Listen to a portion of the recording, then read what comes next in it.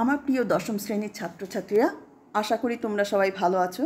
আজকে আমি তোমাদের সামনে মিওসিস কোষ বিভাজন সম্পর্কে আলোচনা করব। মিওসিস কোষ বিভাজনের জটিল পদ্ধতি তোমাদের সিলেবাসে নেই। তোমাদের সিলেবাসে কেবল মিওসিসের কিছু বৈশিষ্ট্য এবং মিওসিসের গুরুত্ব আছে। মিওসিস কোষ বিভাজন একটি জটিল পরোক্ষ কোষ বিভাজন প্রক্রিয়া। পরোক্ষ এই কারণে বলা হচ্ছে, এখানে নিউক্লিয়াসের সরাসরি বিভাজন ঘটে না নিউক্লিয়াস জটিল পদ্ধতিতে বিভাজিত হয়। এক্ষেত্রে কোষ দুইবার বিভাজিত হয়। প্রথমবার বিভাজিত হয়ে দুটি কোষ উৎপন্ন করে, আবার দ্বিতীয়বার বিভাজিত হয়ে ওই দুটি অপত্য কোষ থেকে চারটি কোষের সৃষ্টি হয়। এখন তোমরা লক্ষ্য করবে জনিত্রী কোষে ক্রোমোজোম সংখ্যা থাকে টু এন। এবং শেষে যে চারটি অপত্য কোষ সৃষ্টি হলো, তাতে ক্রোমোজোম সংখ্যা কিন্তু কমে গিয়ে এন হয়ে গিয়েছে, অর্ধেক হয়ে এন হয়ে গিয়েছে। এই কারণে মিওসিস কোষ বিভাজনকে বলা হয় হ্রাস বিভাজন। তোমরা আরও ভালো করে লক্ষ্য করলে দেখবে যে মিওসিস কোষ বিভাজনের প্রথম ধাপে যখন দুটি অপত্যকোষ সৃষ্টি হলো, প্রথম দুটি অপত্যকোষ সৃষ্টি হলো, সেখানে ক্রোমোজোম সংখ্যা টু এন থেকে এন হয়ে গিয়েছে। অর্থাৎ প্রথম ধাপে হ্রাস বিভাজন ঘটেছে। পরের ধাপে কোষ বিভাজনে এন সংখ্যক ক্রোমোজোম থেকে এন সংখ্যক ক্রোমোজোম বিশিষ্ট কোষই তৈরি হয়েছে। অর্থাৎ পরের ধাপটি কিন্তু সমবিভাজন। যাই হোক, এই মিওসিস কোষ বিভাজন হয় উচ্চ শ্রেণির জীবের জনন মাতৃকোষে জনন মাতৃকোষ থেকে গ্যামেট সৃষ্টির সময় একমাত্র মিওসিস কোষ বিভাজন হয়। মিওসিস সম্পর্কিত কয়েকটি পরিভাষা এখন আমরা জেনে নেব। প্রথম, সমসংস্থ বা হোমোলগাস ক্রোমোজোম। আমরা জানি উন্নত শ্রেণির জীবদের কোষে ডিপ্লয়েড সেটে ক্রোমোজোম থাকে। দেখা গিয়েছে, আকার, আকৃতিগত একই রকম এবং জিনগত বিন্যাসযুক্ত একই ধরনের জিনগত বিন্যাসযুক্ত দুটি ক্রোমোজোমকে একটিকে অপরটির সমসংস্থ বা হোমোলগাস ক্রোমোজোম বলে। তোমরা পাশের ছবিতে দেখো, দুটি একই ধরনের ক্রোমোজোম দেখানো হয়েছে। এর মধ্যে একটি আসে মাতৃদেহ থেকে মাতৃক্রোমোজোম অপরটি আসে পিতৃদেহ থেকে পিতৃক্রোমোজোম মানুষের ক্ষেত্রে আমরা যদি ধরে নিই, মানুষের ছেচল্লিশটি ক্রোমোজোম আছে এবং ডিপ্লয়েড সেটে রয়েছে। অর্থাৎ মানুষের ক্রোমোজোম জোড়া হচ্ছে তেইশটা। তেইশ জোড়া হোমোলগাস ক্রোমোজোম আছে মানুষে। এরপর চলে আসছি বাইভ্যালেন্ট ও টেট্রাড ইন্টারফেস দশায় আমরা জানি ডিএনএ তন্তু ক্রোমোজোম গঠন করে থাকে না।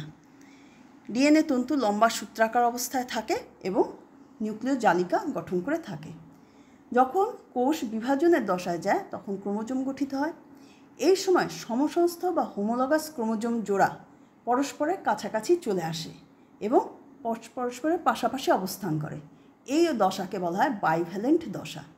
তোমরা পাশে ছবিটায় দেখতে পাচ্ছ, ক্রোমোজোম জোড়া পাশাপাশি রয়েছে, একে বলা হবে বাইভ্যালেন্ট এবার প্রতিটি ক্রোমোজোম দুটি করে ক্রোমাটিড নিয়ে গঠিত হয়।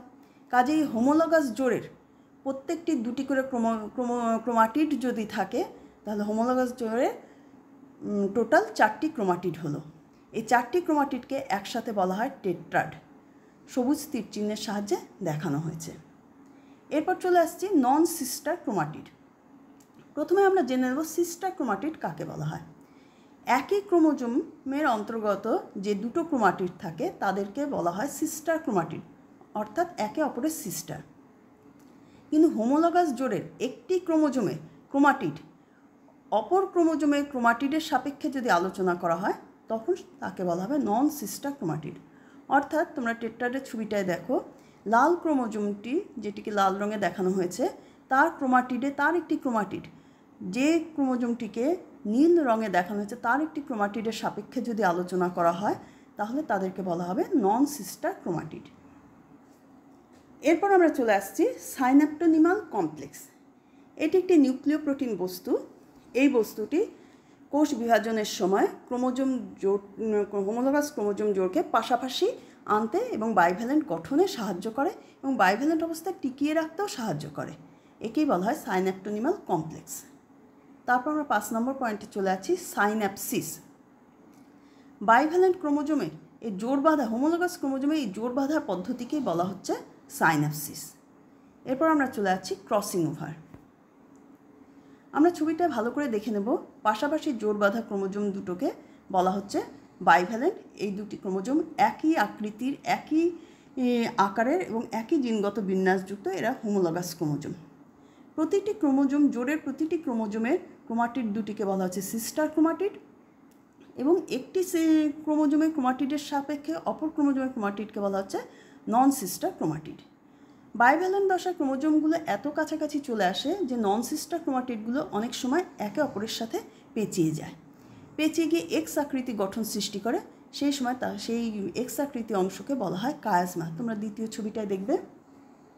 এই কায়াজমা অংশে ক্রোমোজোম, ক্রোমাটিড দুটি দৃঢ়ভাবে পেঁচিয়ে গেলে অনেক সময় খণ্ডিত হয়ে যায় এবং খণ্ড, খণ্ডিত অংশগুলোর বিনিময় ঘটে। অর্থাৎ তোমরা ছবিতে দেখো, নীল ক্রোমাটিডের কিছুটা অংশ লাল ক্রোমাটিডের সাথে যুক্ত হয়ে গিয়েছে এবং লাল ক্রোমাটিডের কিছুটা অংশ বা খণ্ড নীল ক্রোমাটিডের সাথে যুক্ত হয়ে গিয়েছে। এই ঘটনাকেই বলা হয় ক্রসিং ওভার। যে ক্রোমাটিড দুটোর মধ্যে ক্রসিং ওভার ঘটলো, তাদেরকে বলা হয় রিকম্বিনেন্ট ক্রোমাটিড এবং যে ক্রোমাটিড দুটির মধ্যে ক্রসিং ওভার ঘটলো না, তাদেরকে বলা হয় নন রিকম্বিনেন্ট ক্রোমাটিড। এরপর আমরা চলে আসছি মিওসিস কোষ বিভাজনের ঘটনাবলী। এর আগেই বলা হলো মিওসিস কোষ বিভাজন দুটি ধাপে সম্পন্ন হয় প্রথম ধাপটিকে বলা হয় প্রথম মিওটিক বিভাজন বা মিওসিস ওয়ান, দ্বিতীয় ধাপটিকে বলা হয় দ্বিতীয় মিওটিক বিভাজন বা মিওসিস টু। মিওসিস ওয়ানে হ্রাস বিভাজন ঘটে এবং এটি সর্বাপেক্ষা জটিল পদ্ধতি। এতে প্রথমে বাইভ্যালেন্ট গঠিত হয়, যেটা আমরা আগেই আলোচনা করেছি। বাইভ্যালেন্ট গঠিত হয়, এরপর টেট্রাড গঠিত হয়, এরপর কায়াজমা গঠিত হয় এবং ক্রসিং ওভার ঘটে। ক্রসিং ওভার হয়ে যাওয়ার পরে অ্যানাফেস দশায় ক্রোমোজোম দুটো পরস্পর থেকে দূরে সরে গিয়ে দুটি কোষ গঠন করে। অর্থাৎ এখানে ক্রোমোজোমের পৃথকীকরণ ঘটে। তোমরা ছবিটা দেখো, দুটি কোষে একটিতে হোমোলোগাস ক্রোমোজোম জোরে লাল ক্রোমোজোমটি গিয়েছে, আরেকটা নীল ক্রোমোজোম গিয়েছে। অর্থাৎ এক্ষেত্রে ক্রোমোজোমের সংখ্যা কিন্তু কমে গেল, দুইয়ের থেকে এক হয়ে গেল, ক্রোমোজোমে হ্রাসকরণ ঘটল। এই বিভাজনকেই বলা হয় হ্রাস বিভাজন। এরপর আমরা চলে যাচ্ছি মিওসিস টু। এই ক্ষেত্রে ক্রোমোজোমটি ক্রোমাটিড বরাবর বিভাজিত হয়ে গিয়েছে। হয়ে দুটি অপত্য কোষের দুটি অপত্য ক্রোমাটিড গিয়েছে। এই অপত্য ক্রোমাটিডগুলি এখন ক্রোমোজোমের মতো ব্যবহার করবে। কিন্তু এক্ষেত্রে ক্রোমোজোম সংখ্যার হ্রাস ঘটেনি। জনিত্রী কোষও একটি ক্রোমোজোম ছিল এবং অপত্য কোষ দুটিতেও একটি করে ক্রোমোজোম আছে। অর্থাৎ এই ধাপকে বলা হয় সম বিভাজন এরপর আমরা চলে যাচ্ছি মিওসিসের তাৎপর্য। মিওসিসের প্রধান তাৎপর্য হচ্ছে গ্যামেট উৎপাদন। উন্নত শ্রেণির জীবদেহের জনন মাতৃকোষে গ্যামেট উৎপাদনের সময় এই বিক্রিয়াটি, এই কোষ বিভাজন পদ্ধতিটি ঘটে। এই কোষ বিভাজন পদ্ধতিতে আমরা দেখেছি ক্রোমোজোম সংখ্যা অর্ধেক হয়ে যায়। আমরা যদি উদাহরণ হিসেবে মানুষের কথা বলি, মানুষের জনন মাতৃকোষে ছেচল্লিশটি ক্রোমোজোম থাকে এবং গ্যামেট সৃষ্টির সময় তা অর্ধেক হয়ে গিয়ে তেইশ হয়ে যায়। অর্থাৎ মানুষের পুং গ্যামেট এবং স্ত্রী গ্যামেট উভয় গ্যামেটই তেইশটি করে ক্রোমোজোম থাকে। এরপর আমরা দ্বিতীয় তাৎপর্যে চলে আসছি, প্রজাতির ক্রোমোজোম সংখ্যা ধ্রুবক রাখা। আমরা জানি প্রজাতির ক্রোমোজোম সংখ্যা নির্দিষ্ট বা ধ্রুবক। এই ক্রোমোজোম সংখ্যা যদি নির্দিষ্ট না থাকে, তাহলে প্রজাতির অস্তিত্ব বিলুপ্ত হয়ে যাবে।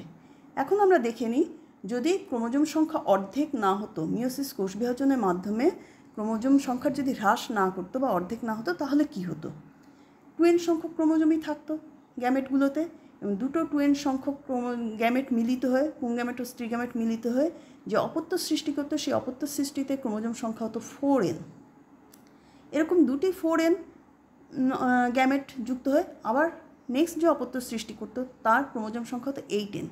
ঠিক এইভাবে sixteen N, thirty two N চলতে থাকতো এবং ক্রোমোজোম সংখ্যা ধ্রুবক থাকতো না, ফলে প্রজাতির অস্তিত্ব বিলুপ্ত হতো। মিওসিসের মাধ্যমে, যেহেতু হ্রাস বিভাজনের মাধ্যমে গ্যামেট তৈরি হয়, সেই কারণে মানুষের ক্ষেত্রে যদি উদাহরণস্বরূপ দেখা যায় পুং গ্যামেটে থাকে তেইশটা ক্রোমোজোম, স্ত্রী গ্যামেটে থাকে তেইশটা ক্রোমোজোম, দুটি গ্যামেট মিলিত হয় ছেচল্লিশটি ক্রোমোজোমযুক্ত জাইগোট বা অপত্য জীব সৃষ্টি করে। মানুষের ক্রোমোজোম সংখ্যা আমরা জানি ছেচল্লিশ, অর্থাৎ এক্ষেত্রে ক্রোমোজোম সংখ্যা ঠিক থাকল, অর্থাৎ ধ্রুবক থাকল। এরপর আমরা চলে যাচ্ছি জীবের মধ্যে প্রকরণের উৎপত্তি। তোমরা দেখেছ মিওসিস ওয়ানে কায়াজমা গঠিত হয়, তারপর ক্রসিং ওভার হয়। ক্রসিং ওভারের সময় জিনের পুনর্বিন্যাস ঘটে, অর্থাৎ হোমোলোকাস ক্রোমোজোমে একটি ক্রোমোজোম আসে মাতার দেহ থেকে, একটি ক্রোমোজোম আসে পিতার দেহ থেকে। যদিও তারা জিনগত বিন্যাস একই থাকে, তবু জিনগত বৈশিষ্ট্য কিছু কিছু পার্থক্য থাকে। এই জিনের পুনর্বিন্যাস হয় ক্রসিং ওভারের মাধ্যমে জিনের পুনর্বিন্যাস অর্থাৎ জিনগুলো নতুনভাবে সজ্জিত হওয়ার সুযোগ পায়। এর ফলে প্রকরণ বা মিউটেশন হতে পারে। প্রকরণ হওয়াতে জীবের মধ্যে বিভিন্নতা প্রকাশ পায়, জীবের মধ্যে ভিন্ন ভিন্ন বৈশিষ্ট্যের উদ্ভব ঘটে। মিওসিসের মাধ্যমেই এই জীবের ভিন্ন ভিন্ন বৈশিষ্ট্যের উদ্ভব ঘটে, যার ফলে জীবের অভিব্যক্তি হয়। এরপর চলে আসছি আমরা জনুক্রম বজায় রাখা। জীবের জীবন চক্রে হ্যাপ্লয়েড দশা আর ডিপ্লয়েড দশা আবর্তন ঘটতে থাকে। একেই বলা হয় জনুক্রম মিওসিসের মাধ্যমে ডিপ্লয়েড থেকে হ্যাপ্লয়েড গ্যামেট সৃষ্টি হয়, আবার জননের মাধ্যমে হ্যাপ্লয়েড দশা থেকে ডিপ্লয়েড দশার সৃষ্টি হয়। এই জনুক্রম বজায় রাখার ক্ষেত্রে মিওসিস গুরুত্বপূর্ণ ভূমিকা পালন করে। এরপর আমরা চলে আসছি মাইটোসিস ও মিওসিসের পার্থক্যে। মাইটোসিস কোষ বিভাজন আমরা আগেই পড়েছি। প্রথম পয়েন্টে দেখে নিচ্ছি সম্পাদনের স্থান, অর্থাৎ কোথায় হয়। মাইটোসিস কোষ বিভাজন দেখা যাচ্ছে জীবদেহে দেহকোষে বিশেষ করে বর্ধনশীল অঞ্চলের কোষে হয়, যে কোষ, যে অংশগুলো বৃদ্ধি পাবে। আর মিওসিস জীবদেহের জনন মাতৃকোষে শুধুমাত্র ঘটে। দ্বিতীয় পয়েন্ট, ক্রোমোজোমের বিভাজনের প্রকৃতি। মাইটোসিস কোষ বিভাজনে মাতৃকোষ ও অপত্য কোষে ক্রোমোজোম সংখ্যা কিন্তু একই থাকে। এই কারণে মাইটোসিসকে সম বিভাজন বলা হয়। মিওসিসে মাতৃকোষে ক্রোমোজোম সংখ্যা অপত্যকোষে অর্ধেক হয়ে যায়। তাই মিওসিসকে বলা হয় হ্রাস বিভাজন। তিন নম্বর পয়েন্টে দেখে নিচ্ছি, উৎপন্ন কোষের সংখ্যা, অর্থাৎ কোষ বিভাজনের শেষে কতগুলি কোষ তৈরি হলো।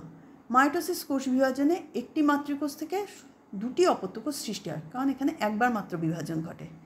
আর মিওসিসে দুবার বিভাজন ঘটে, সেই কারণে মিওসিস কোষ বিভাজনে একটি মাতৃকোষ থেকে চারটি অপত্যকোষ সৃষ্টি হয়।